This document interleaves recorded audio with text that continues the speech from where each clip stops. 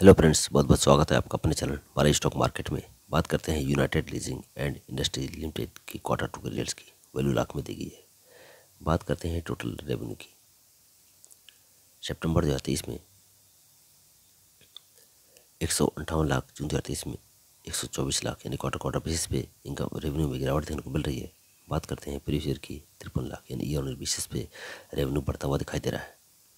बात करते हैं टोटल एक्सपेंस की। सितंबर दो हज़ार तेईस में एक सौ बावन लाख जून दो हज़ार तेईस में एक सौ दस लाख, यानी क्वार्टर क्वार्टर बेसिस में एक्सपेंस बढ़ता हुआ दिखाई दे रहा है। बात करते हैं प्रीवियस ईयर की चौलीस लाख, यानी ईयर बेसिस पर भी एक्सपेंस बढ़ता हुआ दिखाई दे रहा है।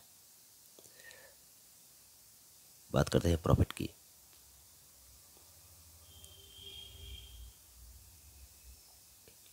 सितंबर दो हज़ार तेईस में आठ, पाँच लाख जून दो हज़ार तेईस में तेरह लाख, यानी क्वार्टर क्वार्टर बेसिस पे प्रॉफिट में गिरावट देखने को मिल रही है। बात करते हैं प्रीवियस ईयर की, आठ लाख, यानी ईयर बेसिस पे भी प्रॉफिट में गिरावट देखने को मिल रही है।